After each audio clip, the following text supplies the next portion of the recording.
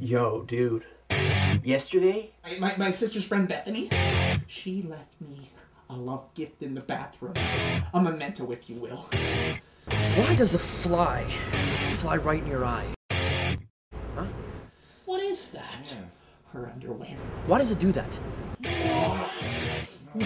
Bombay silk. Faster, man. That's great. Keep that going. Keep that going. Frost. What the fuck is the purpose of Frost? I've been in the industry for 40 years with Eddie Murphy. 40 hours, 45 of those fucking hours I was drinking. Drinking on set. I came late on set. I'm having trouble trying to sleep.